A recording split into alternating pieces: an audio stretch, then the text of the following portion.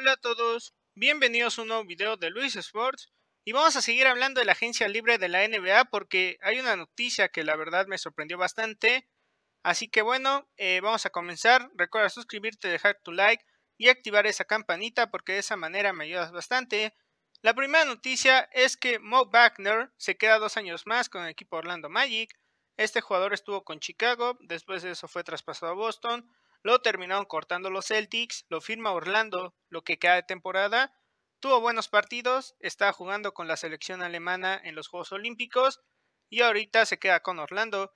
Creo que eh, es una buena firma para Orlando, un equipo que está intentando hacer un proyecto joven alrededor de los jóvenes que tiene ahí y Wagner podría ser buena pieza en el futuro. La otra noticia es que Chicago sigue reforzándose y han firmado a Tony Bradley un contrato de dos años. Creo que es una buena firma. Boston, como se quedó con solamente dos pivots, terminan firmando a Enes Kanter un contrato una temporada. Con esto Boston Celtics va a tener a Enes Kanter, va a tener a Robert Williams y a Al Hodford. Se espera que Robert Williams sea el pivot del futuro, Hodford el pivot del presente y Kanter que sea el suplente de ambos. Creo que es una buena firma. En Scanter es más ofensivo que defensivo. Y lo más seguro es que Boston se prepare con todo para el 2022-2023, que ahí es donde Boston podría moverse. Además de que dicen que el mismo Brad Stevens podría estar planeando un mega traspaso. Pero bueno, la otra noticia es que el equipo de los Knicks han firmado a Kemba Walker. Y dirán, ¿cómo es posible que los Knicks hayan firmado a Kemba Walker? Que no la manera de conseguir a este jugador era traspasándolo con el equipo de KC. Pues sí, era así, pero eh, Kemba Walker llegó a un acuerdo con el equipo de Oklahoma para que le hicieran un buyout en donde le compran su contrato y es agente libre. Yo creí que el equipo de Oklahoma lo iba a intercambiar a mitad de temporada o ahorita. Al final, pues le dicen, ¿sabe qué? Que te vaya bien, haz lo que tú quieras. De todas maneras, Oklahoma logró deshacerse de Al Holford. Y entonces, pues bueno, podríamos decir que fue un ganar para ambos jugadores, para el jugador y para el mismo equipo.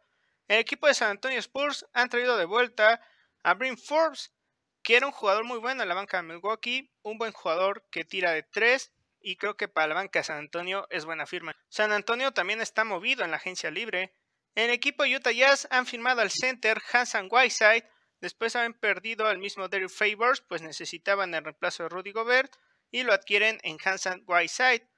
Es una buena firma para mí, es buena firma. El equipo de San Antonio Spurs han firmado a Jock Landell un contrato de dos años. Este pivot que pues está bien para el equipo de San Antonio y vamos a ver cómo le va. La verdad no conozco tanto a este jugador, entonces no puedo dar un análisis de este jugador.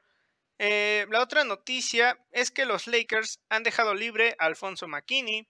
El equipo de Miami Heat han firmado por una temporada a Marquise Morris, Creo que es una buena firma. El equipo de Miami está firmando también veteranos. Para mí es un equipo muy interesante. Yo los pongo como más o menos terceros en el este, por debajo de Milwaukee Bucks, por debajo del equipo de Brooklyn Nets. Y podría ser hasta cuarto, porque luego Miami empieza mal. Pero es un equipo que va a dar bastante pelea la siguiente temporada. Y por último, los Hornets han firmado a Ish Smith, un contrato de un año pues en reemplazo de la Melo, o mejor dicho, el suplente de la Melo. Así que bueno, es todo por hoy. Ya sabes, suscríbete, deja tu like y hasta pronto.